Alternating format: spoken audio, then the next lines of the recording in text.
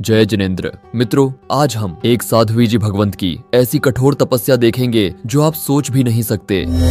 महाराष्ट्र राज्य के पुणे ज़िले में स्थित लोनावाला वलवन गाँव की प्राकृतिक सुंदरता में बना हुआ श्री सहस्त्रफणा पार्श्वनाथ आरोग्य धाम है। यहाँ पर परम पूज्य साध्वी जी भगवंत, श्री चैत्य चैत्यशीला श्री जी महाराज साहब उत्कृष्ट तपस्या कर रहे हैं। इस तपस्या में वह किसी से बात नहीं करते हैं, अर्थात मौन पूर्वक साधना कर रहे हैं। पूज्य साध्वी जी भगवंत पिछले 45 दिनों से लगातार एक ही प्रकार की मुद्रा में बैठकर ध्यान कर रहे हैं। पूज्य साध्वी जी अपनी इस तपस्या को निर्दोष एवं उत्कृष्ट बनाने हेतु किसी की ओर दृष्टि कर उसका मुख भी नहीं देखते हैं। प्रतिदिन एक ही प्रकार के द्रव्य से आयम्बिल कर रहे हैं। मित्रों, लगातार 45 दिनों तक एक ही प्रकार की मुद्रा में बैठे रहना बहुत बड़ी बात है। हम एक स्थान पर एक जगह एक ही मुद्रा में एक घंटे तक भी नहीं बैठ सकते हैं। और यह तपस्वी साध्वी जी भगवंत लगातार 45 दिनों से ऐसे ही बैठे हैं। धन्य है पूज्य साध्वी जी की उत्कृष्ट तपस्या, बारंबार अनुमोदना। पूज्य तपस्वी साध्वी जी भगवंत को वंदन, जिन शासन की जय जयकार। धन्यवाद।